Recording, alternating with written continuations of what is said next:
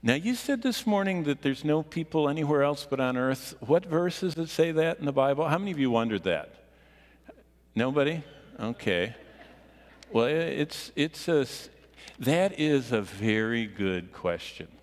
Um, if someone asks you to prove from the Bible, now this is not a rhetorical question, this is a direct, flat out you know, question to you. If someone asks you to prove from the Bible how you know that there's not life on other planets like human life. How many of you would know where to turn in the Bible? Hold your hand up high. Okay, good. There's a brave soul. Good. I see. Okay, three of you so far. I'm going to call you up in just a minute. Um, think about that. We are in an, a naturalistic, evolutionary world and it's simple for them to say life evolved everywhere. I mean, you know, at different speeds, uh, different blobs. I mean, I just watched the National Geographic uh, film on the creation of the universe, which they called, you know, the Big Bang. It was fascinating. Someone spent a lot of money on that. And they actually went from nothing to an explosion to the hot to the spin to the, the spin off of spins and all of a sudden it was raining. And, you know, I mean, it was just the most amazing movie I've ever seen. But where would you go in the Bible? So I would like you to uh, think with me about what most people never think about. I mean, when people talk about, you know, Star Wars and, you know, all the civilizations and aliens and ETs and everything, they're not thinking biblically because, uh, and, and these are the verses that, uh, that immediately come to my mind.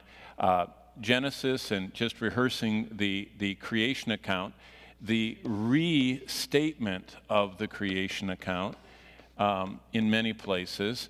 Um, then the very fascinating description that Second Peter gives us, and finally, looking at heaven and who is there. And those would be the streams of thought that I would have. So let's just look there. Let's, let's look for aliens real quickly in uh, Genesis 1. And, and what you have to test yourself about tonight is do you just believe what it says? Or do you want to fall prey to saying, well, it says that, but it doesn't mean that? Because as soon as you take what God's word says and say, that is what it clearly says, but it couldn't mean that. Now, if there's a compelling reason, like in this question, um, you know, when it says, um, you know, God cannot be tempted with evil, neither tempteth he any man. But then in the Lord's Prayer, it says, lead us not into temptation. You would never, you would never take a clear scripture, which is in James 1, that God cannot be tempted with evil, if I don't trip up here. And he doesn't tempt anyone. That is clear as day. I mean, it's just black and white. So whenever you have a clear teaching of the Word of God, you always will interpret something you're not sure about. So uh, that is a, a principle of interpretation. But when you have something clear and it's repeated and repeated and repeated, you can't say it has to mean something else. So in, in Genesis 1, in the beginning, God created the heavens and the earth. And heavens, it defines heavens. It says that's where the sun and the moon and the stars are. So it's not talking about the sky on a single planet of many. It's talking about a specific place where there's one planet with one life that's described, and then the heavens. And, and it goes through that. And by the way, in the elder prayer this morning, I thought something very interesting. You notice in Genesis 1 1 through 5, one of the elders was praying and saying, Lord, thank you that on this day you separated the light from the darkness. And, and remember, in God's way of looking at things, the first day of the week is what day? Sunday. That's today. This is creation week. This is, this is the beginning of everything we know about life and the calendar and time and everything else. This is the first day. This is Sunday was the first day of creation. And that in the evening and morning were the first day. And then there's the second day of the week. And God rested on the seventh day of the week, which is Saturday, which is where the Sabbath comes from. So it's just fascinating. But that's the Genesis account. Now look how Paul restates it. So uh, what Genesis says is that God made the heavens, and he defines the heavens as where the stars and the sun and the moon are, and he made the earth.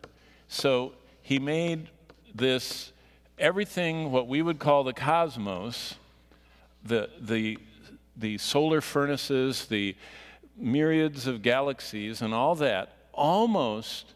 I mean, if you read Genesis 1, it's amazing. It says he made the sun to rule by day and the moon to rule by night, and he made the stars also made the stars also. He gives four words to something that numbers in the octillions at the least. I mean, a number beyond what we can understand of, of stars and galaxies of stars. And he only devotes four words to that. Now, is God saying something there? He talks about every inch of this place the dirt, the water, the, the sky for birds to fly through.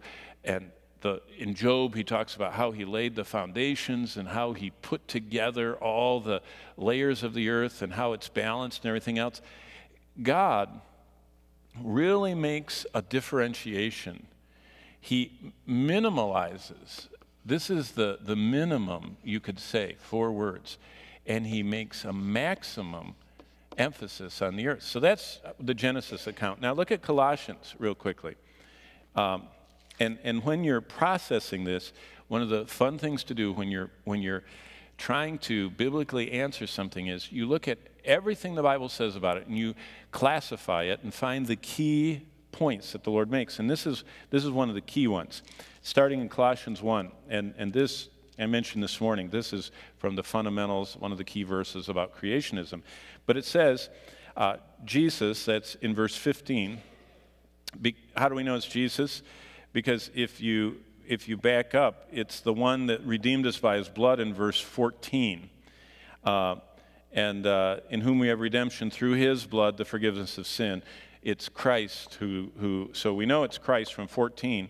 And then it says in verse 15, He, the, the Christ, Jesus, is the image of the invisible God. Now, pause for just a minute. The only God you'll ever see is Jesus. Have you thought about that? The only God you'll ever see. There's one God in three persons. The one you see that's invisible, physical, corporeal form, a body. God doesn't have a body. God the Father doesn't have a body, He's an infinite spirit. The Holy Spirit is an infinite spirit. Jesus Christ is an infinite spirit that became incarnated, has a body. So just process that. He, Jesus, is the image of the invisible God. And Hebrews 11 tells us that, that He is the exact representation of God. And John 1 tells us that too.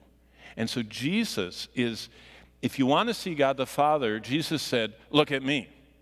And just take him at his word because that's who we see. And he's the image of the invisible God. So God is invisible, and if you see God, it's Jesus. He is the firstborn over all creation.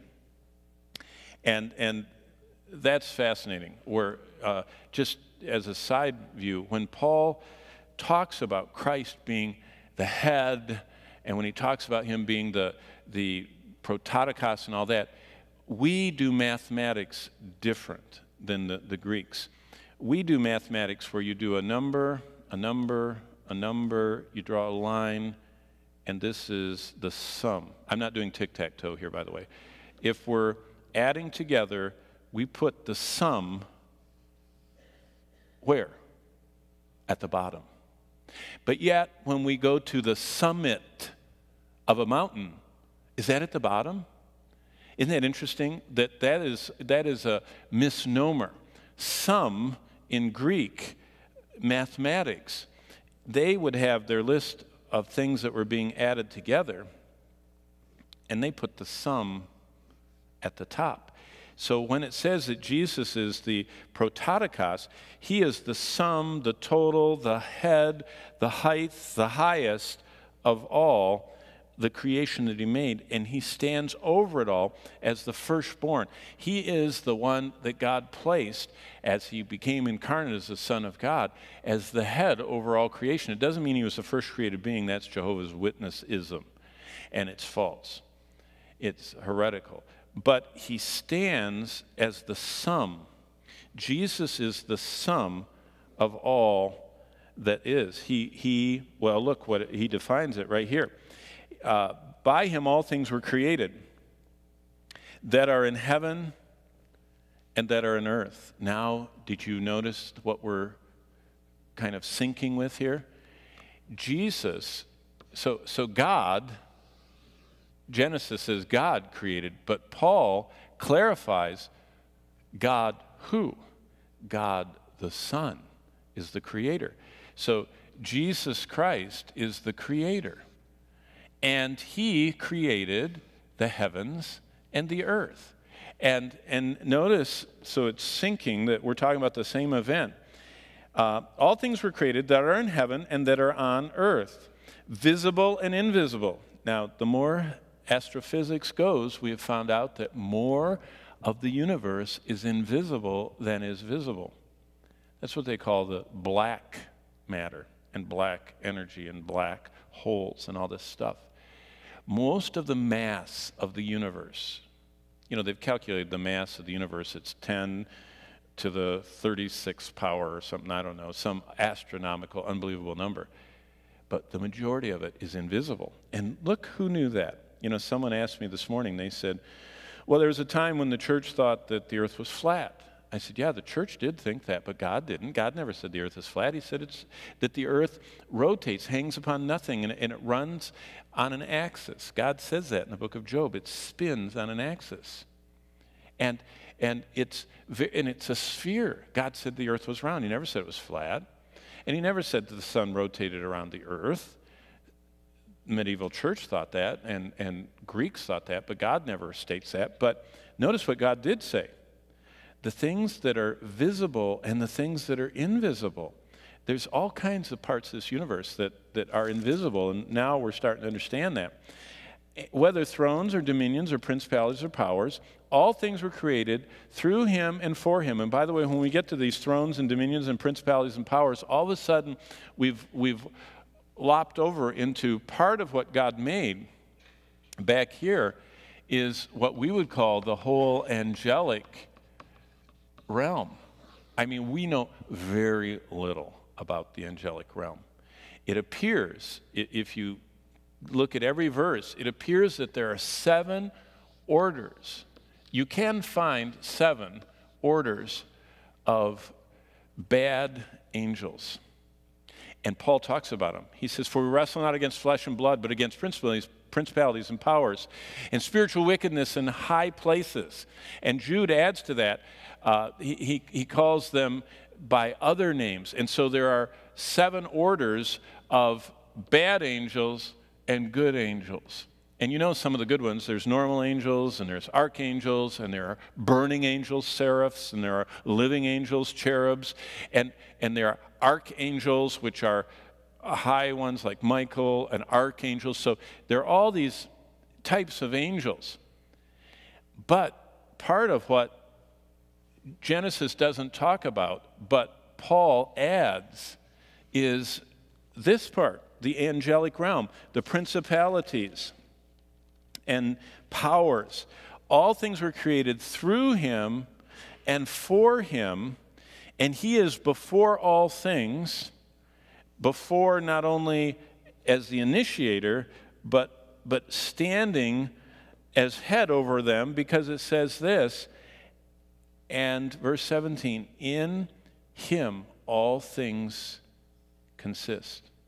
You know, if you know basic, uh, basic what you learn in physics class is that like charges, what? What do like charges do? There we go. We've got a physicist. I know the voice, Dale. I hear you. Yeah, there we go. We have a physics teacher here, an astrophysicist, but they repel. Why, in the nucleus, can you have like charged particles and they don't explode and the universe dissolve? Well, the clearest for us normal people that don't understand quantum mechanics, look what it says. He is before all things, and in him all things hold together.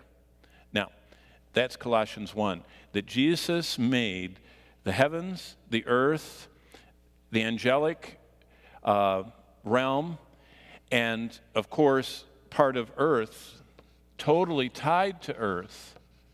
In fact, humans are made initially from the dust of the stars?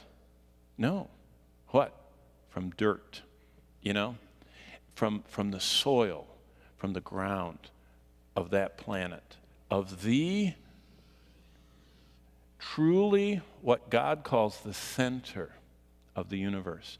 God even positions his throne over the earth.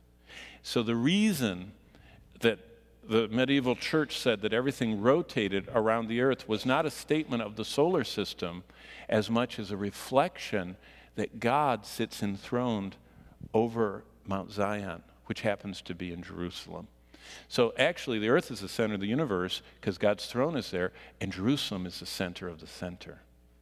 It's very interesting when you calculate everything that God talks about. But here is the fascinating portion. Now, look at 2 Peter with me because I want to show you something.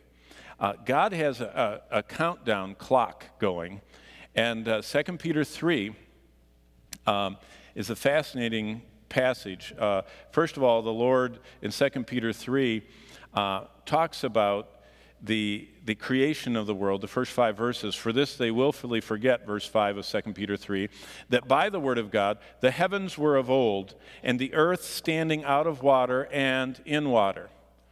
Oh, Peter has the same cosmology, the same creationistic viewpoint. So Moses had it, Jesus, I mean, Paul had it. Of course, Jesus had it because he did it. And now Peter has it. So they all agree with this that the heavens, created with only four words, actually one word, God said, you know, come into existence, but four words describe it, and the earth. It doesn't say, and, and all the planets and all the people groups and all the various binary stars that have yellow suns so they can have life. You know how they're always, the scientists are looking out there and they're saying, oh, there's another one that could support life. Really? Now, there's something that, did you know that it's called the anthropic principle? Did you know that, that there are 21 precise measurements that make life possible? Here's the sun, and here's the earth if the earth was any closer to the sun, any closer, we'd boil off. If we were any further, we would freeze. It's at the exact right place. If the earth wasn't tilted exactly the right way, the weather here would be worse than it is, okay? We would have we'd all live in Oklahoma, okay? Not just the people in Oklahoma. I mean, d- the speed of, of our the, the orbit of, I mean, the rotation of the earth, everything, even the mix, you know, the 78 22 mix of the, of the atmosphere here, the proportion of water, not to water, those, there are actually 21 that astrophysicists have worked out, 25 anthropic. In other words, what that's saying is that, that the earth was designed just for humans by somebody. And to find out there another place that has all of those factors, even the luminosity of the sun, the fact that it is a yellow sun and not a red, not a blue, not a white, not a brown, you know, all the different types of stars that the Bible talks about, by the way. The Bible says there are different, there are different types of stars. I mean, the Bible's very advanced in astrophysics and everything else. But look what Peter says. He says, Oh, so God made the heavens of old, verse 5, and the earth standing out of water and in the water. Now look at verse 6. Always tied to creationism is this global flood. And both of those are disparaged by the majority of people who say they're Christians. Biblical creationism is disparaged by 98% of all Christian colleges in America. They don't believe in it. And so is the global flood, which, by the way, God believed in both because He did it. And all the, all the authors of Scripture believed in both. And Peter says it right here by which the world that then existed perished, being flooded with water. 2 Peter 3 6. And he continues in verse 7 The heavens and the earth, which are now preserved by the same word, are reserved for fire until the day of judgment and perdition of ungodly men. So, what he's saying is, Peter, you know, affirms the creation account. He adds to it the f- global flood. It's not a local, it's a global, the world, the whole world, not Anatolia or Mesopotamia or the Black Sea, like that uh, fella that found the Titanic said that the global flood was just around the Black Sea, whatever his name is, because he found evidence he thought of the global flood. I mean, of the local flood. It's not local, it's global. But Peter also says one more thing. Notice what he says. Verse 7 The heavens and the earth, same cosmology. The heavens and the earth, he's said it before, but here it is again the heavens and the earth, which are now preserved by the same word, right here, he spoke them into existence. A very consistent creationistic cosmology. By the same word, the word that Colossians 1:17, Paul says Jesus Christ holds everything together. He by the word of his power, he he just said matter, nuclei, you're going to hold together. I'm going to keep this universe together, are held together by the same word, but they're reserved, verse 7, for fire. They're reserved for fire. How long? Until the day of judgment. That's when the fire is going to come. And perdition of ungodly men. Now, Peter adds something. He says, the universe, the universe, the cosmos, this and this the geos, the earth, geos and cosmos. These are reserved. The universe is waiting, reserved, it's waiting for a fiery destruction. The whole thing, and I'm going to show it to you in a second, all of it is going to burn up. For a fiery destruction predicated on one thing. This is what Peter adds mankind. Those higher intelligences, those images of God that God created, and, and there is no room in the scriptures for any other life forms, because if so, God is certainly neglecting them. He is focusing everything, the cross the work of the angels, the angels are watching over humans. See, anything, any other life forms out there in the universe, there's not any room for them in the scriptures. Now, of course, you can make a lot of people's theology is from the white spaces. The black spaces are the words, the print.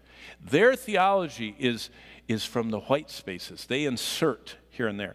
But if you really read this, Moses, Paul, and Peter thought mankind is the center of God's focus. There's the earth, which is the center of the universe from God's perspective. And there's this massive universe around us that God only devotes four words to. But look what's going to happen to it. It says, don't forget this, verse 8, this thing, that with the Lord one day is as a thousand years, and a thousand years is as one day Uh, what does that mean? It means that, that God is standing above. He is on a different dimension than we are. We're bound by four dimensions the, the physical dimensions of length and breadth and depth, and then the, the, the fourth dimension of time. And we can't get out of that. I mean, we can fly different places, but time is still, it, it slows down or speeds up depending on your speed, but we're still bound by it, by all these laws of the physical universe. God is above that. And, and it says in the, the book of Isaiah that God sees the end from the beginning. He sees all of it at once. For God, the physical universe is flat. And it's all, it's like a flat screen TV. Although I don't think God would watch television, you know, because he's got better things to do. But to him, the universe is like a flat screen TV. He sees everything going on, the ending that we're going to read about, and the beginning, which he initiated. He sees it all at the same time. And so to him, a day is as a thousand years, and a thousand years is as a day. What does that mean? It means time doesn't impact God at all. It doesn't mean that we can say that one day in Genesis is like two billion years. That's not what it's saying.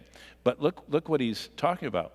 Verse 9 The Lord isn't slack concerning his promises, as some count slackness, but he's long suffering. He's, he's waiting many days, many thousands of years not willing that any should perish, but that all should come to repentance. Now, I'm not going to go into, you know, the, the two views of that. But basically, what the Lord is saying is, He's waiting for the full fullness of those who are going to be saved to be saved. And then look at this. Here is verse 10. But the day of the Lord. Now, day of the Lord is code all the way through the Old Testament, day of Lord is code for what we would call the end of days involving the second coming, involving the tribulation, the time of Jacob's troubles. It's the whole book of Joel is about the day of the Lord. It's just day of the Lord, day of the Lord. It's the day of his wrath and all that. But the day of the Lord will come as a thief in the night, Remember the movie Thief in the Night? There it is. Only that was talking about the rapture, and this isn't. But the day of the Lord will come as a thief in the night, in which the heavens will pass away with a great noise. The elements, that word, stoike, speaks about what we would say the atomic level. To the Greek language, it was the smallest, the foundational elements, the smallest particles. We would call it the subatomic, the atomic and subatomic the, the elements will melt with fervent heat. Wow. Both the earth and the works in it will be burned up. But, it, but you notice it says the heavens, the universe. What, what I think happens is the Lord that's holding everything together, Colossians 1.17, pulls the pin. He Goes, okay, I'm not going to hold together anymore. And the whole universe dissolves. So, if there are other life forms out there, they have a short life expectancy because only mankind is redeemed by Christ. And only mankind and the angelic realm and God survive this fiery destruction because look what it says Therefore, since all these things will be dissolved, verse 11, what manner of persons ought you to be? Looking forward, verse 12, and hastening the coming of the day of God. How do we do that? We lead people to the Lord. Did you know there's like a clicker? You know, counting off, and when the last one that God has chosen, boom, you know, lead people to the Lord. It'll hasten the coming of the day of God. Because of which the heavens will be dissolved. That's the second time it says that. That's the whole universe. Both the visible and the invisible will be dissolved, being on fire, and the elements will melt with fervent heat. Nevertheless, according to his promise, we look for new heavens and a new earth in which righteousness dwells. And you could go on and on reading that. Basically, Peter has the same cosmology, and Peter says the entire universe is waiting. And, and just, if, if you want to study this more, it's fascinating. Romans 8, Paul adds that the universe right now is groaning under the bondage of what we would call the laws of thermodynamics, the, the, the, gradual heat death that the universe is going through. You know, the second law, and all the laws are, are keyed to this idea of winding down and going toward destruction. So all of that is coming, but what we're looking for is this new heaven, verse 13, and new earth. So let's go there, and let's, that's where I'll end. Uh, and I'm so glad that uh, you asked this question because you let me think about it. Uh, but look at, at chapter 4 and 5 of Revelation. And the last thing I want to show you is um, why do we say that, that there, is, there are no other aliens out there and other planets and other places where people are? Because everything is going to be destroyed. The only thing that's going to last is there's a heaven that's where God's throne is.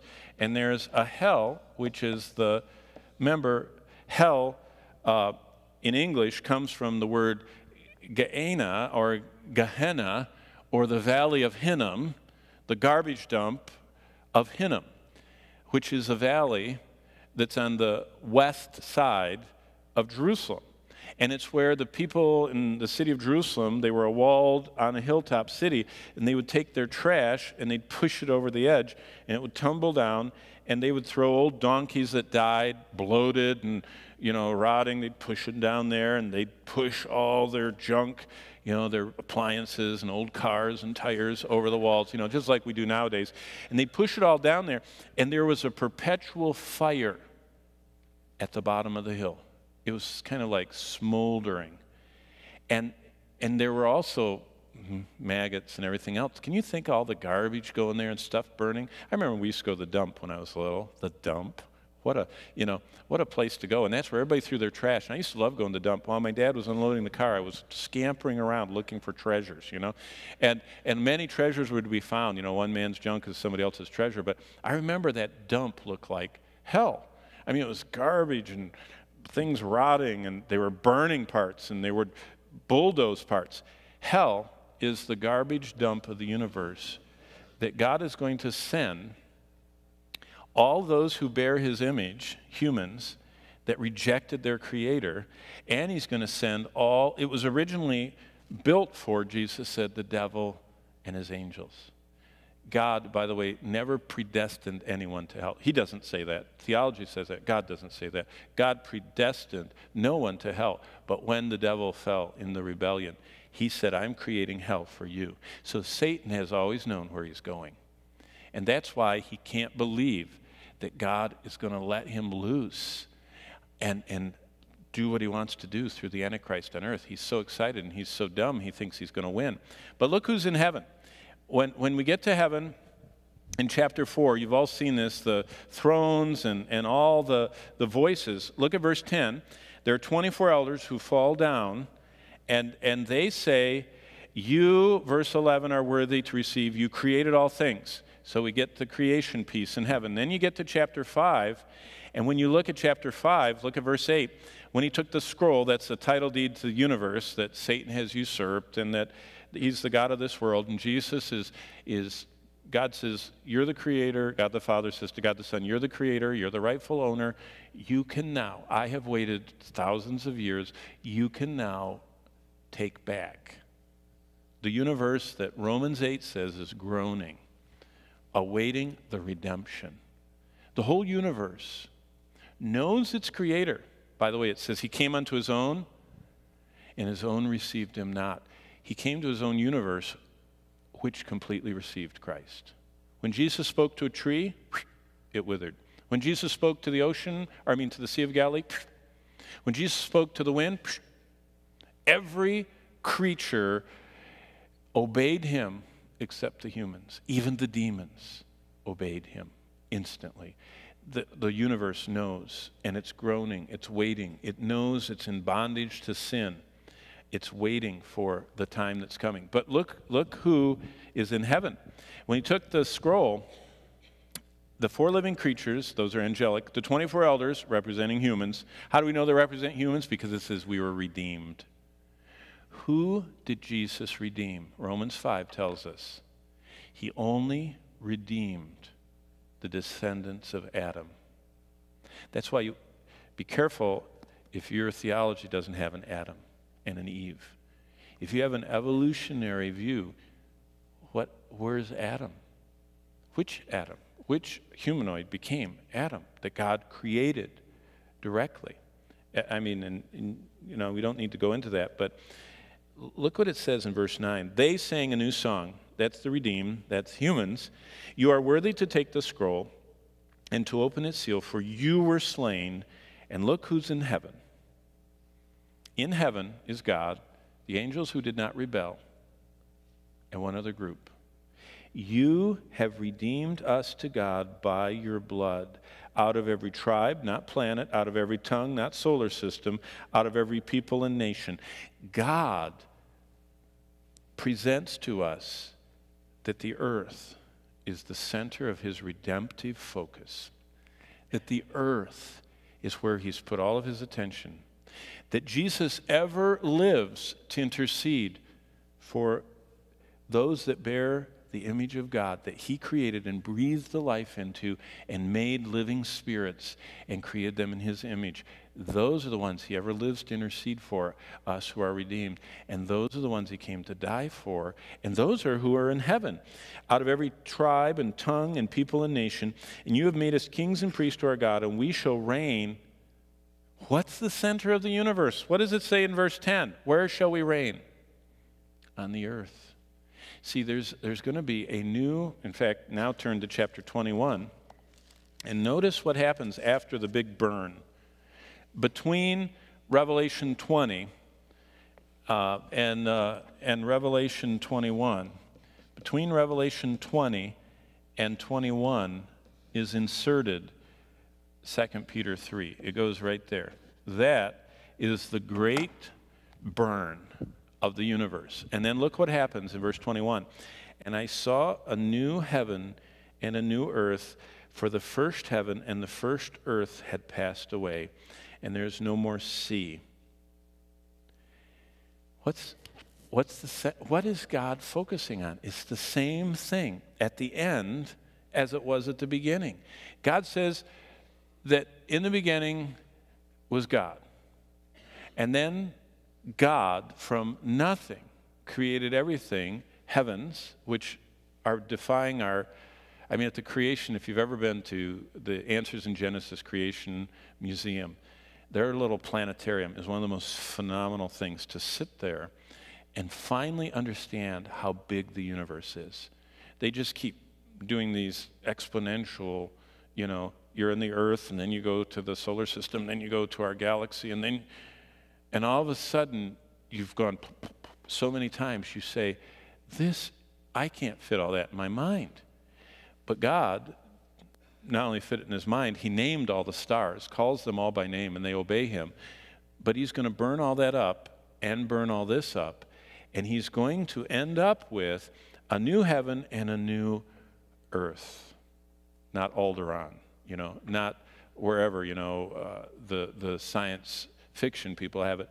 And everyone who is not redeemed, who are in heaven, are going to be in hell for as long as everybody's in heaven. And that's, that's the simple cosmology that God consistently, from Genesis 1 to Revelation 22, presents the same thing. Isn't that amazing? Now, it doesn't mean that after we're in heaven that, that God's going to make more of whatever. In fact, I think that, that we already know what's going to be like in heaven because in a fallen world, this is a pretty neat place. I mean, don't you love the taste of food? Don't you like the feel of the wind? Don't you like the colors of the sunset? Don't you like the complexity of stuff that grows and at, at every level, macro and micro? It's all beautiful and symmetrical and 1 Corinthians 14, orderly. God is a God of order. And so I, I believe that probably we will never come to the end of all that He's going to make. And, and since God invented eating, since God invented sexual relations, can you imagine how wonderful heaven's going to be? I mean, everything we experience is fallen, cursed, under bondage. Can you imagine how wonderful. You, you think of the best things you've ever known in life. Heaven is better by far, exponentially better. We've never experienced perfection. We've seen it in Christ, we have never experienced it. And, and in that moment when we get there, we're going to be in his image. He's purchased us. We're going to worship him. But a lot of people are worried in heaven, all they're going to do is play their harp, you know, and sit on a cloud. That's not in the Bible. It says we're going to be serving Him. And how did we serve Him on earth? Whether therefore you eat or drink or whatever you do, do it to God's glory. Heaven's going to be like that. Whatever we do, traveling to, you know, whatever. God just made a new solar system over there, or a new galaxy, or another parallel universe. You go over there, we serve Him to His glory. It's very exciting.